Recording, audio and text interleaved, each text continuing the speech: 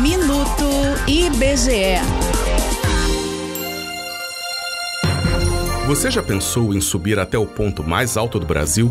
O paulista Márcio Nelber viveu essa aventura em 2002. A visita ao Pico da Neblina requer determinação, planejamento e muito preparo físico. O trajeto dura cerca de 10 dias e inclui estradas de lama, animais selvagens, igarapés e mata fechada. Tudo isso sem qualquer conforto e nem sinal de celular. Mas, para Márcio, todo esse desafio foi a grande motivação. A motivação principal minha foi conhecer um lugar único, né? um lugar isolado, que requer aí uma dedicação para se chegar lá, e também a, toda a parte de planejamento da viagem, organizar toda a logística. Lembrando que não é uma viagem de relaxamento, né? porque você está ali 10 dias dentro da floresta e a floresta te consome bastante. Então tem a, a questão do desafio mesmo, de vencer um desafio.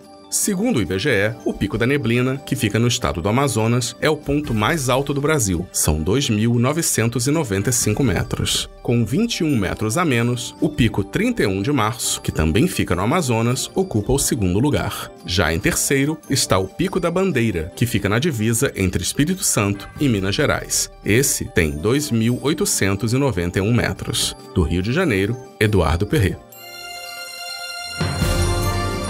IBGE Informação para a cidadania.